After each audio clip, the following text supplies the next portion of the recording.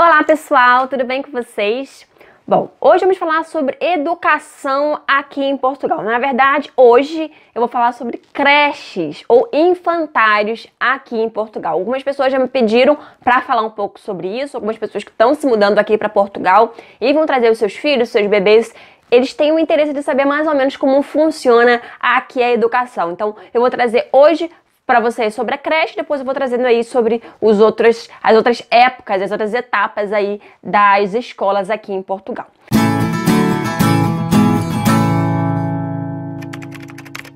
Então, basicamente, vou falar como que funciona aqui o sistema. É, a creche, o infantário, como é chamado aqui, é, a criança pode frequentar desde os três meses de idade até os três anos, tá? Então, de três meses a três anos, eles podem frequentar o infantário. Depois dos três aos cinco anos, tem o jardim de infância, tá? É, mas assim, dos três aos quatro anos não é obrigatório, tá? Então, se a mãe não quiser colocar a criança nessa época, não é obrigatório. Isso é obrigatório a criança frequentar a escola a partir dos 4 anos, né? Por lei, a partir dos 4 anos a criança sim é obrigatória estar tá na escola e o governo tem que assegurar sim uma vaga para essa criança. Mas é, como acontece na maioria dos casos, os pais precisam trabalhar, então normalmente nessa idade os pais já colocam as crianças aí na escolinha.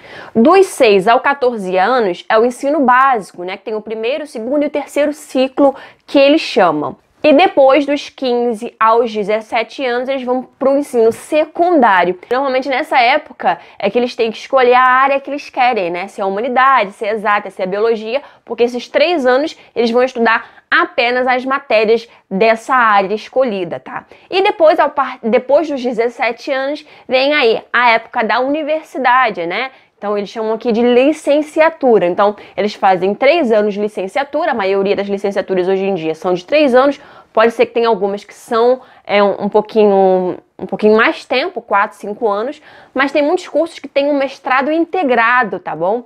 E o que é um mestrado integrado? É três anos de licenciatura mais dois anos de mestrado. E outros que não são integrados, você faz mesmo os três anos de licenciatura e se quiser, aí sim faz o mestrado. Então, basicamente, é assim que funciona o sistema de educação aqui em Portugal.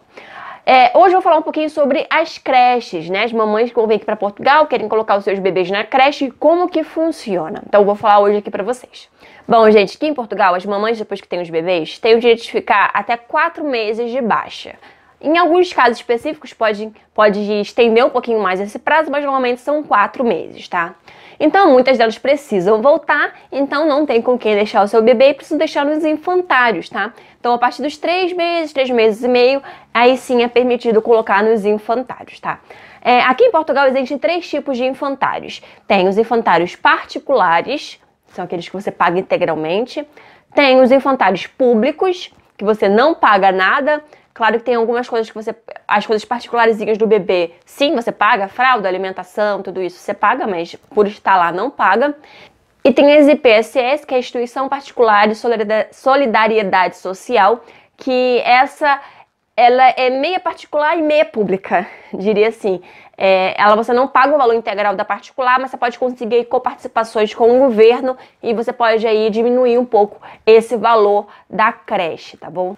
As creches aqui em Portugal normalmente não são baratas, gente. Então custa, dependendo da região, 150, 200, 300, 400 e às vezes até mais, dependendo da, da, da região que mora, isso por mês, tá bom? Então não é um valor baixo. Mas essa, esses IPSS, que normalmente são coordenados por paróquias e por, por, por coisas religiosas, né, por instituições religiosas, normalmente ah, as famílias podem tentar conseguir uma coparticipação do governo, ou seja, dependendo da renda familiar, né, você conseguir comprovar que não ganha uma renda assim tão alta, eles fazem lá, eles fazem lá uma conta e que de acordo com o que a família paga, eles fazem lá um cálculo que ah, os pais pagam X para a criança, ou seja, um valor que seja justo de acordo com o que eles ganham, né? Aí você poderia perguntar: "Ah, então, por que colocar no particular nas IPSS? Coloca já na pública, já que não paga nada. Conseguir uma vaga de uma creche pública aqui, vocês não têm ideia de quão difícil é. É muito difícil. Isso até mesmo para os moradores aqui, até mesmo para os portugueses, tá? É muito difícil. Tem várias pessoas, inclusive, que quando descobrem que estão grávidas, já escreve a criança na, na creche, sério. Isso eu já ouvi falar de bocas de pessoas que engravidaram, que estavam assim, tinha dois, três meses e falaram: não, já escrevi a minha criança na creche, porque demora muito para conseguir uma vaga. Às vezes, um, dois, três anos até para conseguir uma vaga. Por isso que muitas famílias que precisam trabalhar e não conseguem uma vaga na creche, na creche pública, tem, não tem opção a não ser colocar na particular ou tentar uma coparticipação na IPSS. Então, não é uma coisa muito fácil. Mas assim, você que é brasileiro, até mesmo as pessoas ilegais podem conseguir sim podem tentar, né? Conseguir a gente não sabe. Podem tentar também uma vaga nessas creches. Como eu falei, a concorrência é muita, mas sim, pode sim conseguir uma, uma vaga aí para criança, tentar uma vaga para criança aí na creche.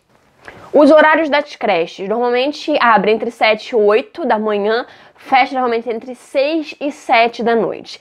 Então a mamãe tem a opção de deixar a criança um meio período, 3, 4 horas, então um período integral, né?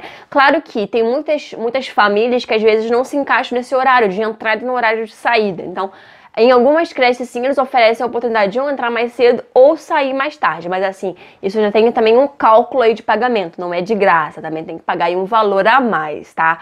para poder deixar a criança ou a mais ou entrar um pouquinho mais cedo.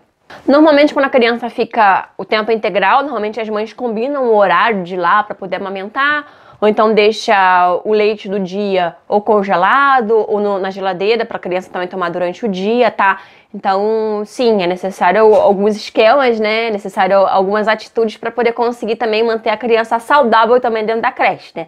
Também se a criança ficar o dia inteiro, precisa também de um pouquinho de contato com a mãe, precisa também se alimentar, ainda mais se é muito bebezinho. Então, sim, também tem essa oportunidade dos pais de tantas em tantas horas irem lá alimentar a criança, então mesmo deixar o leite para as próprias professores e cuidadoras lá darem o leitinho para a criança.